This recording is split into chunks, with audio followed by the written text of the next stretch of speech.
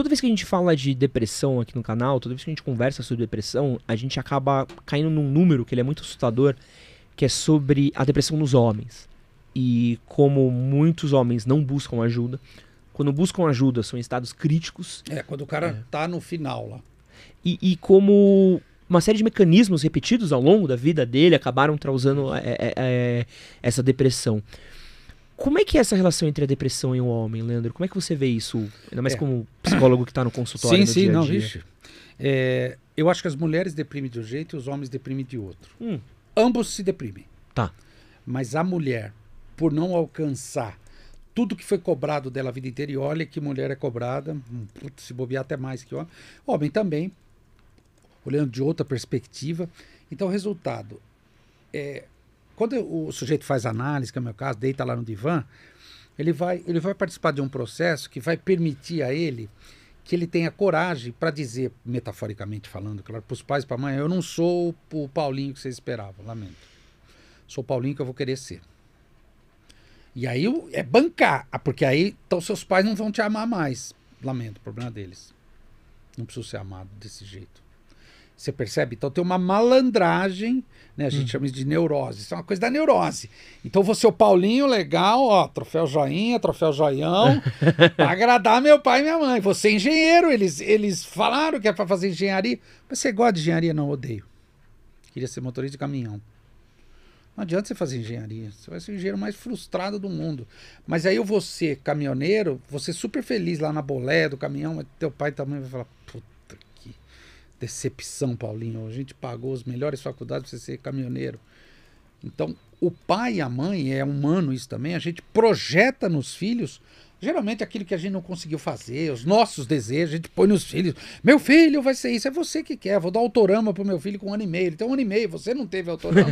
Você quer ter, ah, ele não brinca, mas eu adoro. Claro, pô. Então, que meu filho vai ter de tartaruga ninja, então, não tá então, escrito, tá? Então, então resultado, o, o, o que, que eu tô querendo dizer?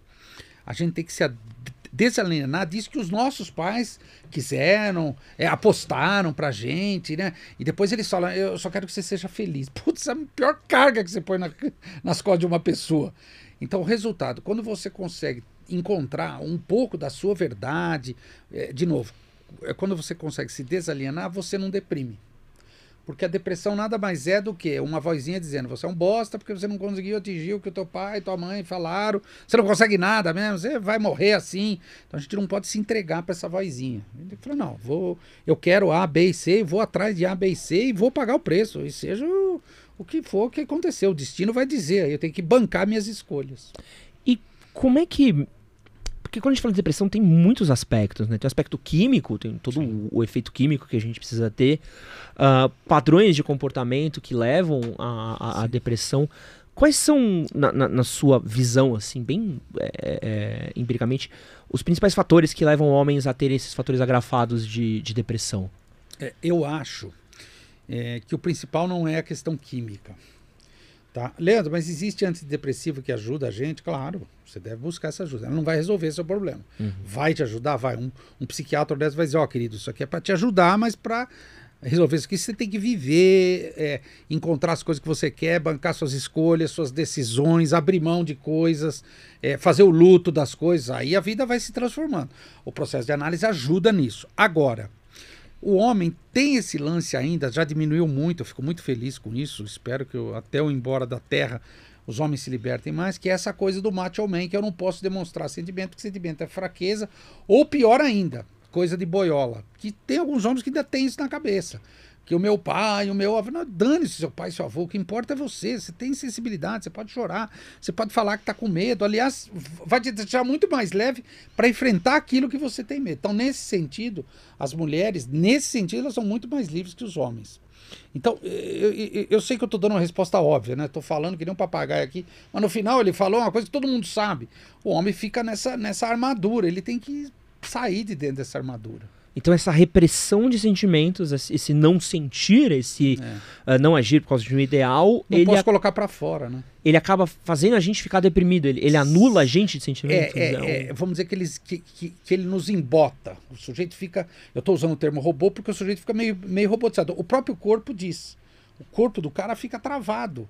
E aí a cabeça dele fica, porque você é um bosta, você fez errado, você não consegue. É essa culpa que leva. A depressão é uma resposta do ego a, a essa exigência, não só social, mas da própria pessoa, claro. Então aí a gente questiona, nós da psicanálise, pô, será que é químico mesmo?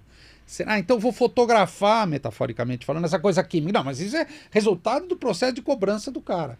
Por exemplo, vou, vou te dar um exemplo banal. Você vem de uma família extremamente religiosa. Não tem nenhum problema. Meu pai minha mãe são de uma religião super rígida. Tá, eles vão te criar nessa religião. É isso que você quer mesmo pro restante da sua vida? Faz sentido. Então, no padrão de comportamento. Vai ter toda essa história. Ou o corintiano. Quando, me livre de um filho Quando meu pai descobriu que eu votava no PT, meu pai é da geração da ditadura. Meu pai fala tóxico. Deve ter sido um, um, choque. E ele ficou mais chocado ainda quando eu me decepcionei com o PT. Falei, puta merda, é muita corrupção. Não sei se eu vou votar mais no PT. Ele, ele teve duas grandes surpresas.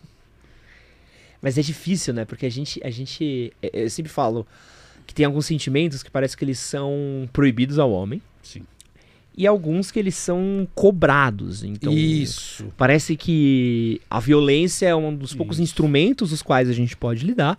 Uh, o humor, mas é um humor muito específico que você Isso. pode ter. É um humor muito específico Isso. ali. Isso, você tem, você tem direito a uma saída no humor. É, pra cá e até lá. A partir daqui já, você já não é mais tão aceito que você acaba sendo um, um wise um espertinho, um sabichão e tal. E a gente, a gente não é dado instrumento pra gente. E eu falo por mim, assim. Da, da, minha família, é, pô, se eu chorasse no ambiente Nossa. da minha família, eu, se eu apanhasse e chorasse e chegasse em casa, eu ia apanhar duas de vezes. De novo, isso. Minha mãe falava isso. Se apanhar ou bater lá fora de não vai apanhar de novo. Minha então, mãe, não é meu pai. Isso era muito louco, porque eu sabia assim, se eu chorasse, eu falava assim, puta, se eu chorar, eu vou chorar duas vezes. Eu vou chorar, Sim. aí eu vou apanhar Sim. e vou chorar de novo. Então eu não podia chorar. Então, beleza. Então, não posso chorar. O que, que eu posso fazer que eu não sou reprimido? E aí, pô, desde pequeno, quando eu sentava é porrada na galera. Aí é o robô, vira um é. robozinho. Porque é uma programação. Claro. Assim, e, e, é uma coisa de criança. Eu lembro a primeira vez que eu sentei a porrada numa criança na escola e cheguei em casa, eu pensei que ia tomar uma bronca, com uma advertência vira um motivo de festa. Porra, nosso filho é ideal. É. Oh, fui, Esse é Castro. O Edinho desceu a porrada é na galera da escola. Esse Era é isso. É sangue. Tipo, aí, aí, vale tudo. É espanhol, sangue pega fogo. É português, é italiano, qualquer besteira. É, qualquer da moca, é, meu. Eu sou da moca. E era, e era isso. E aí, tipo, gera na sua cabeça do tipo, ah, legal. Então, isso é o certo. Quando eu sinto a porrada em alguém, tá certo. Quando e, e entender, tipo assim, que é configurado na gente. A gente nunca questiona. Quando foi que a gente ensinou para uma criança do tenta conversar com ela? Isso.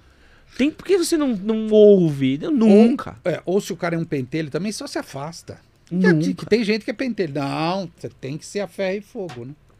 É, é difícil você falar para um homem não tenha uma postura não combativa. Porque eu, ele não é homem. Eu tive um caso ontem uhum. e, e, que eu me vi nesse comportamento e eu reparei como isso tá impregnado em mim, assim. Eu tava dirigindo na Avenida Sapupemba e tinham dois carros na minha frente. E o carro, o primeiro carro aqui, sei lá, um Corolla e o de trás era um Chevette. E o Chevette estava colando no carro da frente, buzinando, xingando. Chegava, cantava pneu, tentava, tipo, fechar o cara tal, porque provavelmente aconteceu alguma coisa e o Chevette tava tentando pegar o cara do Corolla. E o cara do Corolla pleno. limite de velocidade de Sapopemba, o cara vindo atrás. Tarana, e o, e o Chevette provocando, provocando, provocando, provocando, provocando. Até o ponto que chegou ali perto da Salim Farmaluf, eles se afastaram e foram embora. E o cara do Corolla continuou dirigindo na paz do, santo, do espírito. E ele falou assim: Nossa, o maluco nem se abalou, nem xingou, nem gritou, nem foi da fora. Se fosse eu, uhum. vixe, já tinha descido com um pedaço de pau pra dar na cara do maluco do Chevette, já estaria puto, não sei o que, sei lá. E aí o pai falou assim: Olha que foda o maluco do Corolla. Tipo, o cara agiu como não esperavam que ele agisse. Ele fez uma coisa, tipo, ele só, tipo, vai mudar alguma coisa? Vai fazer alguma coisa? Não vai fazer nada. Beleza. Porque não é esperado da gente como homem.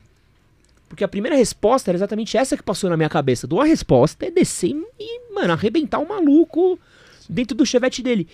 E, e, isso é uma falta de instrumentos que é dada pra gente, né? E, e, De resolução de conflitos, né? Que é a questão da inteligência emocional. O homem não tem direito a isso, né? E é difícil lidar, cara. Porque a gente cresce com. Não que as mulheres, pensando por analogia, também não tem um padrão. Se é mulher, tem que fazer isso. Não, não é isso. Agora, como é que você acha um estilo seu de lidar com as coisas e acha o estilo e caga para os ideais da sociedade? Ah, os Castro não vão gostar mais de mim. Problema deles. O Edinho, você não bateu com um pedaço de pau neles? Não, não bati. "Ó, então você não é homem, Edinho. Ah, fazer o quê? O que você acha? É difícil chegar nessa resposta. É, mas tem que. A gente tem que lutar contra isso. Né? Esse que você acabou de assistir foi um corte da nossa live com o Leandro dos Santos, falando sobre saúde mental. Vou deixar o vídeo com essa live aqui do lado para você poder clicar nela e assistir. E aqui embaixo vou deixar um outro vídeo que você também vai gostar bastante também. E aproveita e não esquece de se inscrever aqui no nosso canal de cortes.